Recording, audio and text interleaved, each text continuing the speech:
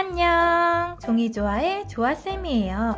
이번 시간에는 귀여운 몰랑이를 데리고 왔어요.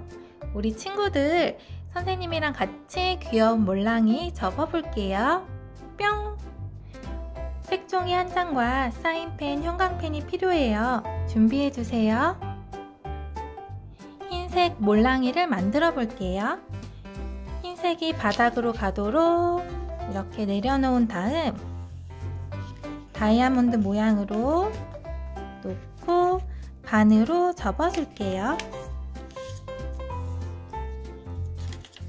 펴준 다음에 빙글 돌려서 다시 한번 반으로 접어주세요.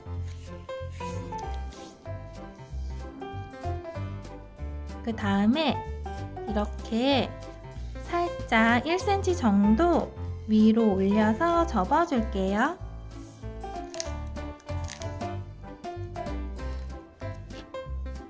뒤로 뒤집어 준 다음 위에 면이 가운데 선까지 오도록 접어줄 건데요. 가운데 선에서 0.5cm 정도 간격을 두고 접어줄게요.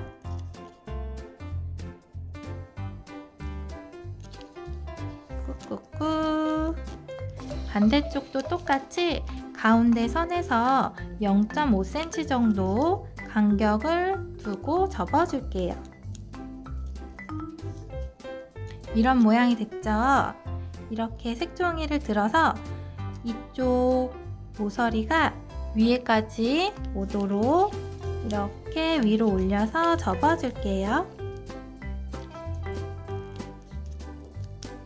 반대쪽도 똑같이 모서리가 위에까지 만나도록 위로 접어서 올려줄게요.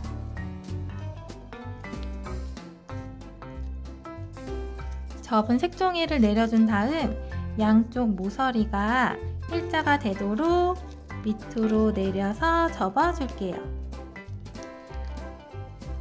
꾹꾹꾹 다시 접은 색종이를 이렇게 위로 올려준 다음 몰랑이 길을 접어볼 거예요. 이쪽 모서리와 안쪽 모서리가 이렇게 만나도록 접어주면 작은 세모 모양이 생겼죠? 반대쪽도 똑같이 이쪽 끝에 모서리와 안쪽 모서리가 만나도록 이렇게 만들어주면 작은 세모 두 개가 만들어졌어요.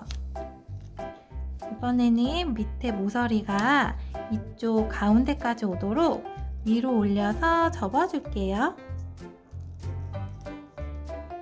다시 내려주고 이렇게 색종이 한 장을 든 다음에 접은 선까지 안쪽으로 접어줄게요. 이렇게 밑에 색종이도 안쪽으로 이렇게 넣은 다음 이렇게 눌러주세요. 이번에는 이쪽 내려오는 모서리가 있어요. 이쪽도 모서리가 있죠? 이쪽 부분, 가운데 부분에 일자로 내려서 접어줄 거예요. 자, 이렇게 일자로 접어주면 이런 삼각형 모양이 생겼어요. 반대쪽도 똑같이 이쪽 모서리와 이쪽 끝 모서리 중간 부분에 일자로 접어줄게요. 똑같이 일자 모양으로 접어주면 이런 삼각형 모양이 생겼어요. 마지막으로 이쪽 끝에 안쪽으로 살짝 접어주고 반대쪽도 똑같이 모서리를 안쪽으로 살짝 접어주면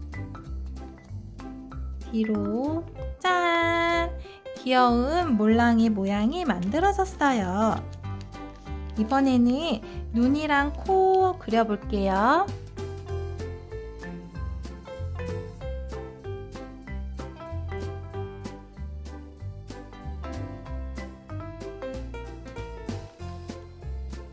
핑크색으로 이렇게 귀엽게 볼터치를 그려주면 귀여운 몰랑이가 완성! 우리 친구들 귀여운 몰랑이를 접어서 재미있게 몰랑이랑 놀이를 해도 좋을 것 같아요. 우리는 다음 시간에 다시 만날게요. 친구들 안녕!